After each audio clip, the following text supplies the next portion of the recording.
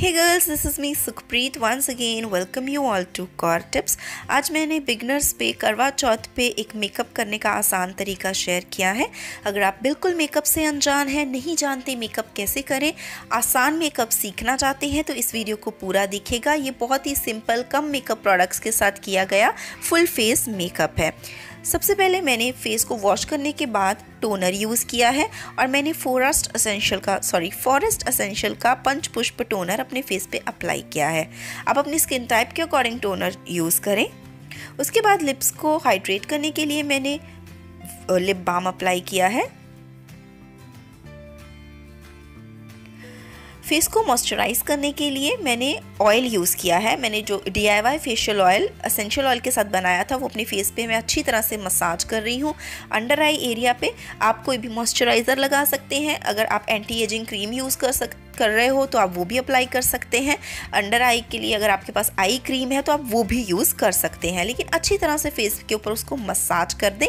इससे फेस के ऊपर ब्लड सर्कुलेशन फास्ट हो जाता है और मेकअप में एक ग्लो भी आता है। प्राइमर के लिए मैंने मेकअप रेवोल्यूशन का प्राइमर यूज़ किया है। अगर आपको ओपन पोर्स हैं, चेहरे के ऊपर गड्ढे हैं तो आप इस प्राइमर को यूज़ कर सकते हैं। फाउंडेशन आज मैंने वेला वोस्टे का यूज़ किया है। ये मेच्योर स्किन के लिए अच्छा फाउंडेशन है। 30 प्लस है और आप ग्लोइंग मेकअप चाहते हैं तो आप ये फाउंडेशन ट्राई कर सकते हैं। अगर आपकी ऑयली स्किन है तो आपको अपनी स्किन टाइप के अकॉर्डिंग फाउंडेशन लगाना है। आप मैट प्रोडक्ट चूज़ करें। यहाँ पर मैं फिंगर्स के साथ ही फाउंडेशन को ब्लेंड कर रही हूँ। इवनली फाउंडेशन को स्प्रेड कर लेने के बाद मेकअप स्पंज की मदद से मैं उसको अच्छी तरह से ब्लेंड कर रही हूँ। उसके बाद डार्क स्पॉट्स को हाइड करने के लिए नेक्स्ट स्टेप में मैं स्विस ब्यूटी का कंसीलर यूज़ कर रही हूँ। अगर आपके फेस के ऊपर किसी भी तरह के दाग धब्बे नहीं हैं तो आप कंसीलर वाला स्टेप अवॉइड कर सकती हैं। मैंने कंसीलर को अंडर आई एरिया और डार्क स्पॉट्स पे अप्लाई किया और उसके बाद मैं फिंगर टिप की मदद से ही इस कंसीलर को हल्का हल्का डैप कर लूँगी। उसके बाद नेक्स्ट स्टेप में मैं आईब्राउज को फिल करने के लिए पाउडर आई यूज़ कर रही हूँ। आप आईब्राउज को फिल करने के लिए पेंसिल भी यूज़ कर सकती हैं, जो आपको ज़्यादा कंफर्टेबल लगे, उसके साथ आप आईब्राउज को फिल कर सकते हैं। नेक्स्ट स्टेप में आई मेकअप स्टार्ट करने से पहले मैंने आईलिड्स के ऊपर कंसीलर अप्लाई किया है। इससे आई का बेस स्ट्रॉन्ग बनता है, वो आई लॉन्ग लास्टिंग रहता है और आई जो है वो ज़्यादा अच्छा पिगमेंटेशन भी देता है। कंसीलर को मैं स्पंज की मदद से ब्लेंड कर रही हूँ। उसके बाद कंसीलर को नेक्स्ट स्टेप में सेट करने के लिए मैंने लेकमे का रोज़ पाउडर यूज़ किया है। आप यहाँ पे कोई भी पाउडर यूज़ कर सकते हैं। वाइट टोन पाउडर भी यूज़ कर सकते हैं। या आपके पास अगर टेलकम पाउडर है तो वो भी यूज़ कर सकते हैं। और थोड़ा सा पाउडर मैंने अंडर आई एरिया पे अप्लाई किया है ताकि अगर कहीं कभी गलती से आई का फॉल आउट हो तो मेरा बेस मेकअप ख़राब ना हो। आप भी इस स्टेप को फॉलो कर सकते हैं। मैं पूरे फेस के ऊपर पाउडर अभी अप्लाई नहीं करूँगी। नेक्स्ट स्टेप में आई मेकअप के लिए एक ब्लेंडिंग ब्रश के साथ मैंने डार्क ऑरेंज मैट कलर लिया है। ये एक्चुअली एक ब्लशर है, लेकिन मुझे जो ब्राइट ऑरेंज कलर चाहिए था, वो इस ब्लशर में अवेलेबल था तो मैं इसको अच्छी तरह से पूरी आईलेट पे अप्लाई कर रही हूँ। आई मेकअप का स्टेप बिगनर्स के लिए ज़्यादा डिफ़िकल्ट होता है, इसलिए आप कुछ सिंपल स्टेप के साथ आई मेकअप करें, जैसे कि अगर आपको अपनी ड्रेस के साथ मैचिंग आई मेकअप करना है तो एक मैट आई इस तरह से पूरी आईलेट पे अप्लाई कर लें। उसके बाद यहाँ पे मैंने एक गोल्डन आई अपनी आईलेट के इनर से सेंटर पार्ट तक अप्लाई किया है। करवा चौथ पे मोस्टली जितनी भी हमारी ट्रेडिशनल आउटफिट्स हैं, उनमें गोल्डन कलर का वर्क तो होता ही है इसलिए गोल्डन या ब्रॉन्ज कलर के आई शेडो जो है, वो हर ड्रेस के साथ अच्छी तरह से मैच हो जाते हैं। गोल्डन कलर अप्लाई करने के बाद मैंने बस आई शेडो को सेम ब्लेंडिंग ब्रश के साथ आउटर एजिस को ब्लेंड किया और उसके बाद जो डस्ट पाउडर था आईलिड्स के नीचे, उसको डस्ट ऑफ़ कर दिया। आईलाइनर के लिए मैंने लेकमे का इंस्टा आईलाइनर अप्लाई किया है और मैं बहुत ही फाइन लेकिन थोड़ा सा लंबा विंग्ड आईलाइनर बना रही हूँ।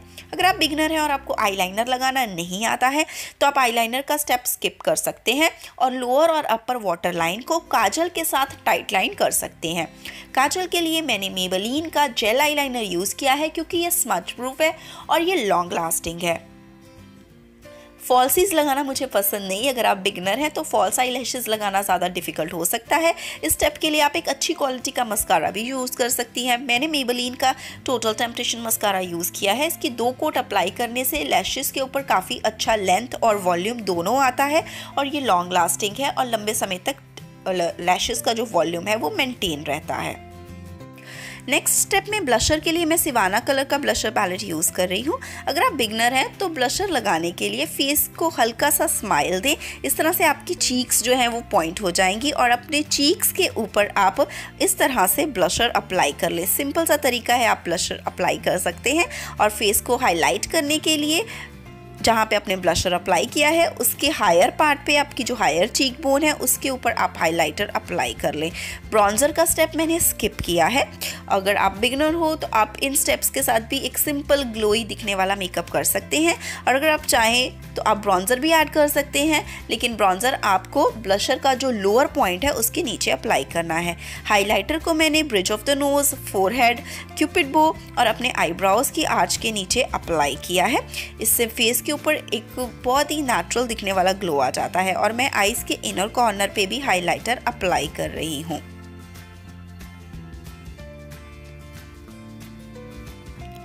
उसके बाद पूरे फेस को सेट करने के लिए मैं लूज़ पाउडर यूज़ कर रही हूँ। अगर आपकी ऑयली स्किन है तो आप कॉम्पैक्ट यूज़ कर सकते हैं। ड्राई स्किन के लिए लूज़ पाउडर एक बेटर ऑप्शन रहता है, ऐसा मुझे लगता है। और फुल फुल फेस मेकअप को कंप्लीट करने के लिए लिपस्टिक मैंने मेबलिन की क्रीमी मैट यूज़ की है और शेड है पिंक माई रेड तो ये एक बिगनर्स के लिए बहुत ही सिंपल सा step by step limited makeup products के साथ करवा चौथ का मेकअप मैंने शेयर किया है। जिनको बिल्कुल मेकअप करना भी नहीं आता, वो भी इस स्टेप्स के साथ आसान से स्टेप हैं, इसके साथ मेकअप कर सकते हैं। तो अगर आपको ये वाला करवा चौथ का मेकअप लुक अच्छा लगा है, पसंद आया है तो इसको अपनी फ्रेंड्स के साथ शेयर ज़रूर कीजिएगा। आई होप कि ये वीडियो बिगनर्स के लिए हेल्पफुल रहा हो। Thanks for watching